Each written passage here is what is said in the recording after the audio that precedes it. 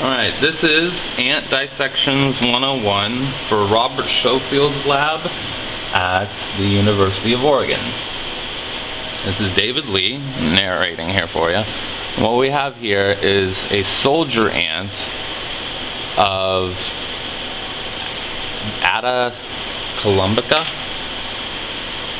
And for those of you who don't know your genuses, that is the South American leafcutter ant one of several subspecies.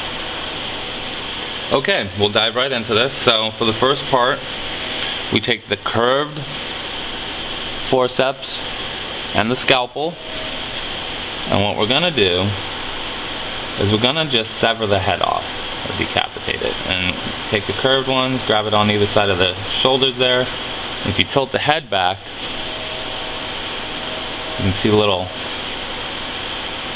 little little line is connected with. Little piece there. And you just cut that just like so.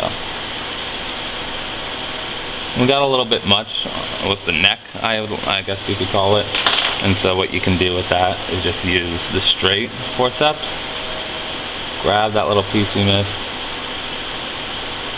Curve forceps come down. Grab either side of it. And you pull. There you go.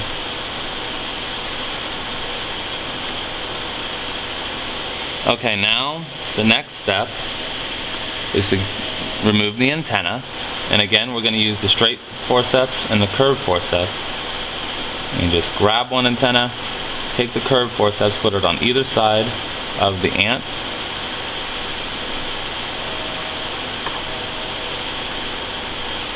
Come on. And pull. Try that again. Either side of the forceps with the curved forceps, straight forceps, and pull right back.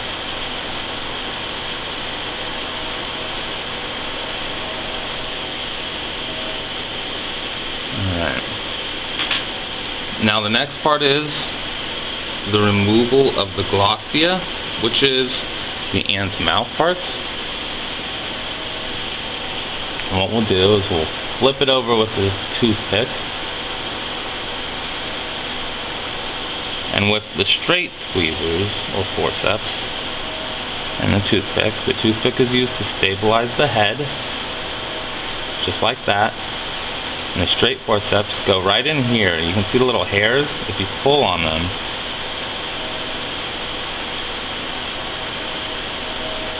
Come on, don't make a liar out of me.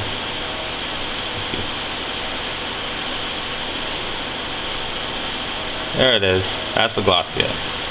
You want to just grab it at the base and pull right out. Oh, look at that. Even got some of the fungus that they keep up in there for inoculation purposes. I believe. I could be wrong on that, so don't quote me. And now we have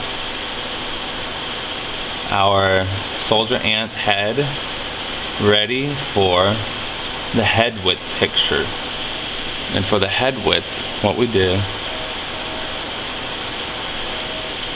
on my camera it's slightly tilted but when you look through the uh, scope here and you take your picture it should be parallel with respect from one side to the other and the eyes need to match up with that.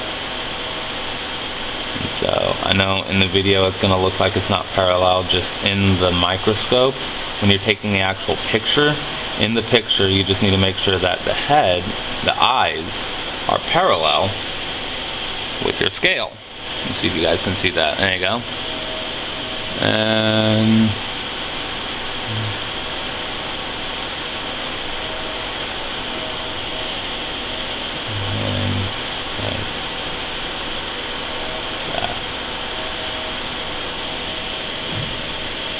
Again, I know it doesn't look parallel in the video, but it is in the microscope.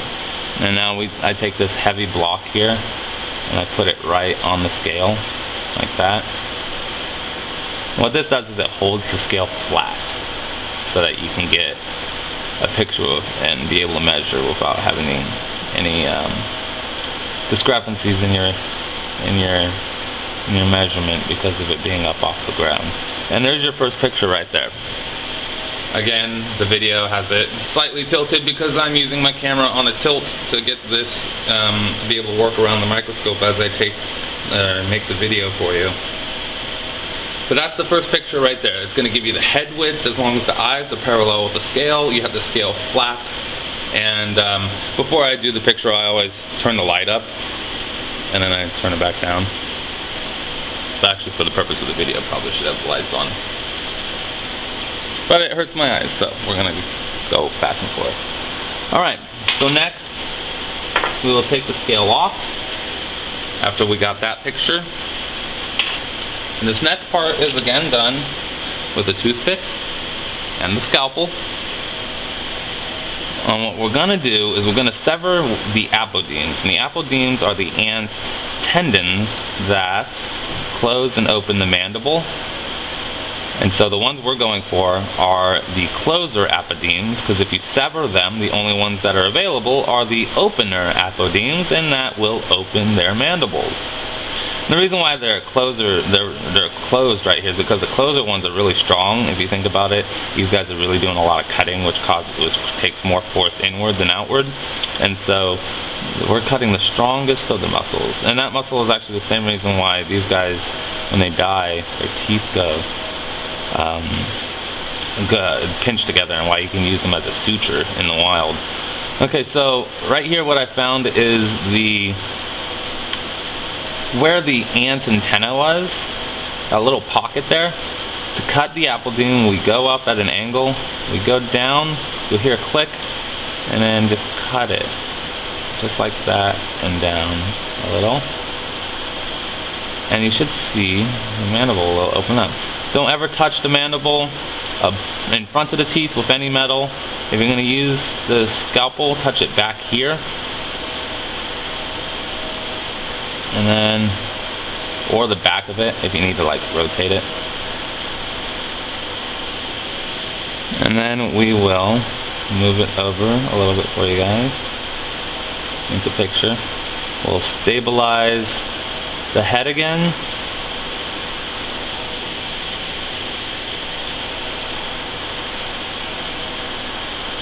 with a toothpick and now we just do the same thing to the other side there's a little pocket right there I'm going to go into the pocket, go down deep, and cut. Go at a high angle and then kind of come down. You hear that click, and that generally means that you got it. We're not trying to cut back here, we're trying to cut in here. There we go. And now that allows us to freely manipulate the mandibles with toothpicks, as you can see. And now we can manipulate it into position. So from here, all we do is we put the ants up on a clay pedestal like this and I can't zoom in because it will mess up the arrangement that I have of the camera because the zoom because the focus for it is up and down. So I can I can zoom but I can't focus it for you. But what you want to do is position the head so that the back of the head is down because the mandibles are mangled out a little bit. And you want to move the mandibles in a way that allows you to get a picture of it completely flat. And I'll make another video showing you guys how to get the mandibles maneuvered into a proper position for, uh, for a proper picture. Um, but I am running out of time. So there is the first steps of the dissection, pretty much the bulk of the actual dissection.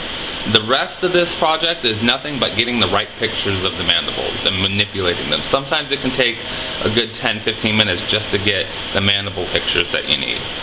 Um, and that's that. Hope you enjoyed the video and hope you learned something.